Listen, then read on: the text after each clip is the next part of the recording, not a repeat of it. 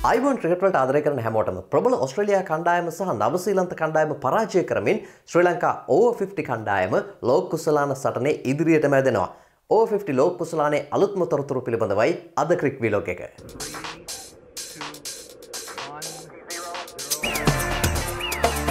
ඕෆිස් ලෝකුසලාන තරගාවලේ මෙවර පැවැත්වෙන්නේ දකුණු අප්‍රිකාවේ මාර්තු පස්වනිදා පැවැත්වෙච්ච සමාරම්භක උත්සවයෙන් පස්සේ මාර්තු හයවැනිදා ඉඳලා තරග ආරම්භ වුණා මේ තරගාවලිය සඳහා ලෝකේ කණ්ඩායම් දා හතරක් සහභාගි වෙනවා කණ්ඩායම් හත බැගින් කාණ්ඩ දෙකක් යටතේ තමයි කණ්ඩායම් තරග වදින්නේ ලෝකේ ප්‍රධාන ටෙස්ට් රටවල් අතරින් බංග්ලාදේශය හැරෙන්නට සෙසු ටෙස්ට් රටවල් නමයම තමන්ගේ කණ්ඩායම් ඉදිරිපත් කරලා තියෙනවා මීට අමතරව එක්සත් ජනපදය කැනඩාව නැමීබියාව එක්සතරාබි එමීර් රාජ්‍ය සහ වේල්සය කණ්ඩායම් ඉදිරිපත් කරලා තියෙනවා. ශ්‍රී ලංකාව නියෝජනය කරමින් සෙනරත් සෙනවිරත්නගේ නායකත්වයෙන් යුක්ත කණ්ඩායමට ශ්‍රී ලංකාවේ ජාතික සංචිත නියෝජනය කරපු තුන්නිරයව ක්‍රඩකින් තිදෙනෙක් විදිහට සුවංජි මදනායක රෝයින් පිරිස් සහ කාමන් මාපටුන ඇතුළත් වෙනවා. ඉතින් සෙනරත් සෙනවිරත්නගේ නායකත්වයෙන් යුත් මේ කණ්ඩායම තමන් මුහුණ දීපු පළමු තරගෙන්ම ලෝකශූර ඔස්ට්‍රේලයා කණ්ඩායම පරාජයට පත් කරන්න සමතුන ඔවුන් තමයි පසුගේ වර තරගාවලියේදී ලෝක ශූරතාවය දිනාගන්නට සමත් වනේ මේ තරගේ තොරතුරු පිළිබඳව කතා කරන්න තුන්නිරය ක්‍රඩක සුවංචි මදනායකත් අපිත් සමගින් එකතු වෙලා ඉන්නවා.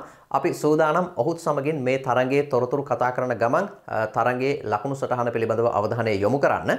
තරගේ පැවතුනේ ග්‍රීන් පොයින්් ක්‍රිකට් ක්‍රඩාංගනයේදී මේ තරගේ කාසේ වාසය දෙනාගත් ඔස්ට්‍රේලයා කණ්ඩායම ප්‍රථමයෙන් පන්දුවට පහරදීමේ වාරය ශ්‍රී ලංකා කණ්ඩායමට ලබා දුන්න ශ්‍රී ලංකා කණ්ඩායම තමන්ට නියමිත පන්දුවාර හතලිස් පහ අවසානයේදී ලකුණු දෙසිය තිස් හතරක් රැස් කරගන්නට සමත් වනේ කඩුළු හතක් දැවි. එහිදි කැපේ පෙනෙන පිතිකරණයක නිරත වෙච්ච රොවින් පිරිස් ලකුණු අනු හතරක් ලබාගත්තා ඔහු ශතකය අභිය සිටියේදී අවාසනාවන්ත විදිහට දුවද්දී දැවයාමකට ලක් වුණා. නායක සෙනරත් සෙනවිරත්න ලකුණු තිස් දෙකක් ලබාගන්න සමත් වුණා වේග පන්දු යවන ක්‍රීඩක චමින්ද රාජපක්ෂ පක්ෂ පන්දු විසිහයකින් ලකුණු තිස්හයක් ලබා ගැනීම කැපී පෙනුණා. ඔහුගේ මේ වේගවත් ඉනිම නිසා ශ්‍රී ලංකා කණ්ඩායමට ලකුණු දෙසිය තිස් හතරක් දක්වා තමන්ගේ ලකුණු පුවරුව ඉහළ නංවා ගන්නට හැකියාවක් ලැබුණා. කැපි පෙන පන්දුවමක නිර්ත වෙච්ච බ්‍රෙඩ් ජේම්ස් ලකුණු හතලියකට කඩලු තුනක් ලබාගන්න සමතුනා ඔහු ක්‍රියාත්මක කරපු පන්දුවාර හතෙන් පන්දුවාර දෙකක් නිලකුණු පන්දුවාර ලෙස ක්‍රියාත්මක කරන්නටත් ඔහුට හැකියාව ලැබුණා. පෙළිතුරනිම ක්‍රඩා කරපු ඔස්ට්‍රේලයා කණ්ඩායම තමන්ගේ පන්දුවල් හතලිස් පහ අවසානයේදී කඩලු නවයක් දැවී ලකුණු දෙසිය තිහක් ලබාගන්න සමතුනා එය අනු ශ්‍රී ලංකා කණ්ඩායම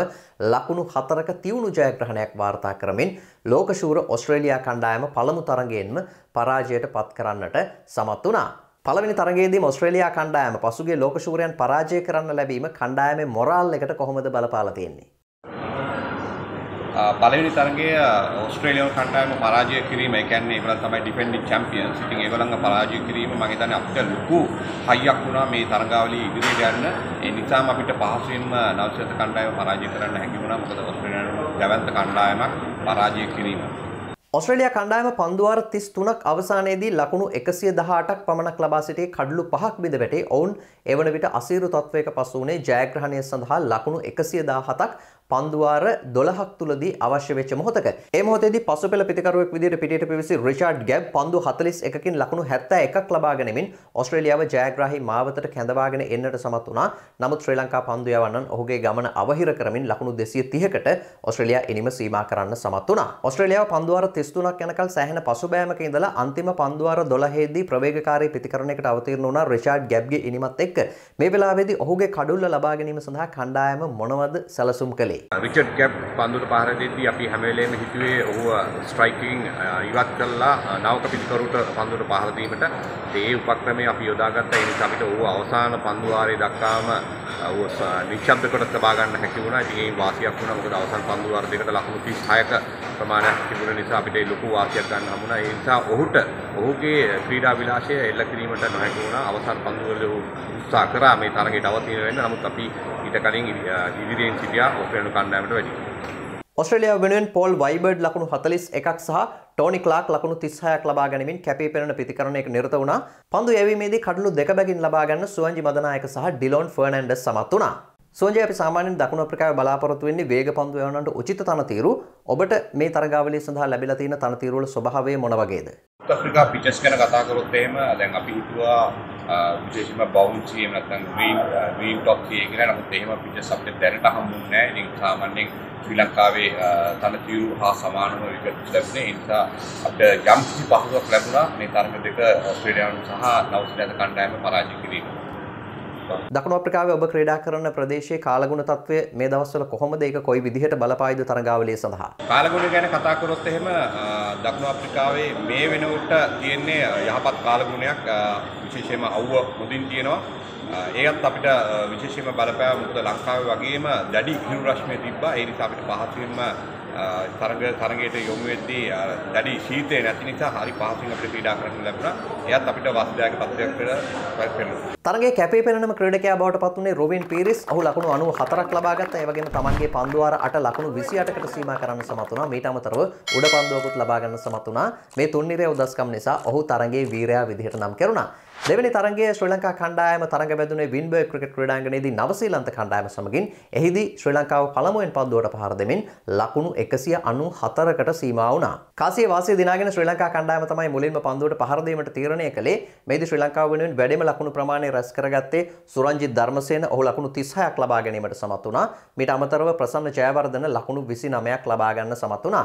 මේ ශ්‍රී ලංකා ටෙස්ට් කණ්ඩායම නියෝජනය කරපු ප්‍රසන්න ජයවර්ධන නෙමෙයි වෙනත් ප්‍රසන්න ජයවර්ධන කෙනෙක්. ඔහු ලකුණු 29 ලබා ගත්තේ පන්දු 39කින්. මීට අමතරව චමින්ද රාජපක්ෂ නැවතත් පිත්තෙන් දස්කම් දක්වමින් පන්දු 19කින් ලකුණු 22ක් ලබා ගන්න සමත් වුණා. නායක සෙනරත් සෙනවිරත්න ලකුණු 21ක් ලබා ගත්තා. පන්දු යැවීමේදී ඇන්ඩ්‍රු නිව්ටෝල් කැපී පෙනෙන පන්දු යැවීමක නිරත වුණා. ඔහු ලකුණු 35කට කඩලු 3ක් ලබා ගන්න සමත් වුණා. කෙල්වින් ස්කොට් පන්දු වාර 8 ලකුණු 17කට සීමා කරමින් කඩලු දෙකක් ලබා ගැනීම කැපී පෙනුණා. නවසීලන්තයට එරෙහි තරගයේදී ශ්‍රී ලංකාව ලකුණු 193කට සීමා වෙද්දී හිතුවද මේ ලකුණු ප්‍රමාණය ආරක්ෂා කරගන්න පුළුවන් වෙයි කියලා?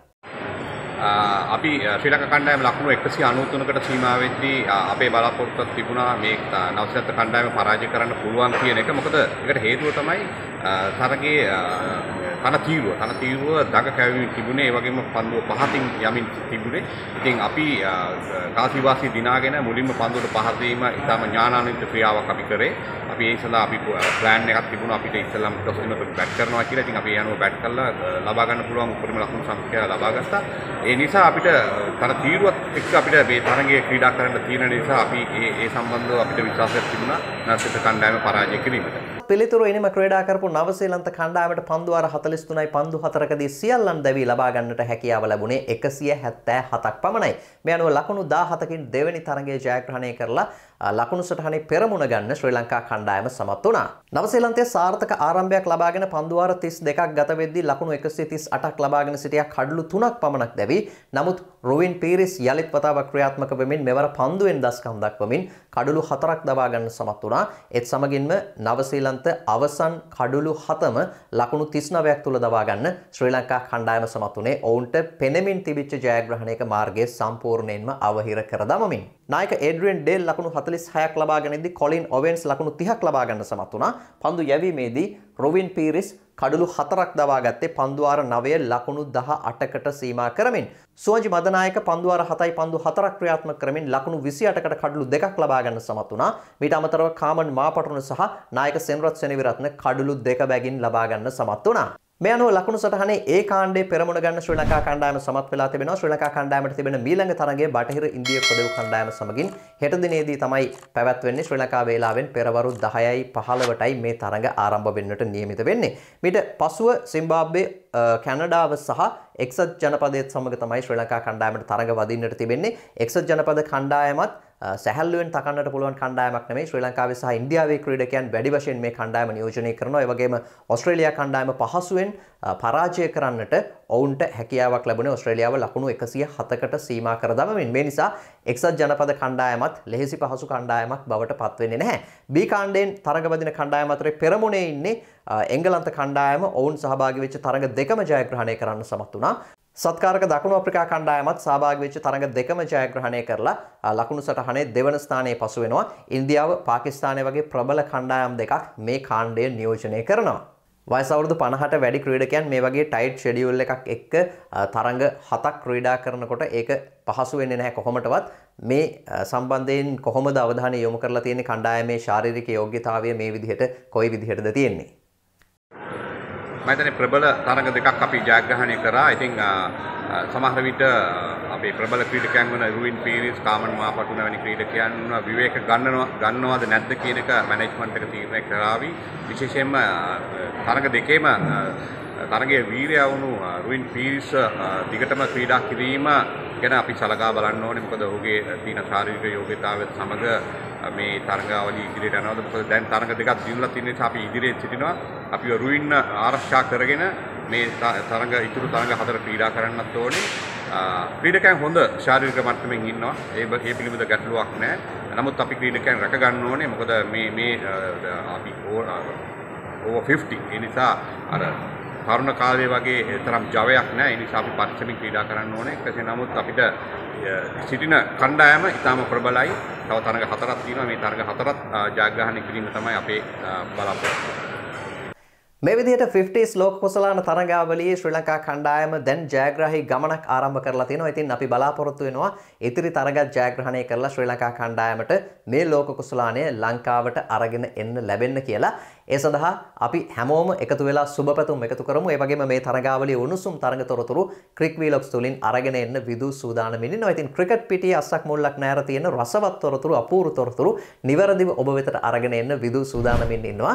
ඒ නිසා ක්‍රික් වීලොග් subscribe කරලා තියාගන්න. ඒ වගේම bell icon එක tap කරලා තිබුණොත් එක ක්‍රික් වීලොග් එකක්වත් මිස් කරන්නේ නැතුව බලන්න ඔයාලට හැකියාවක් තියෙනවා. නවසීලන්ත තරගාවලිය පිළිබඳව ආකර්ශනීය වීඩියෝ කිහිපයක් එක්ක අපි ඉක්මනින්ම හමු වෙනවා ක්‍රික් වීලොග් සහ ක්‍රික් විදෝ YouTube නාලිකා තුළින්. එතෙක් ඔබට අයිබුවන් ආපහු ඉක්මනින් හමුවමු. ජය වේවා හැමෝටම.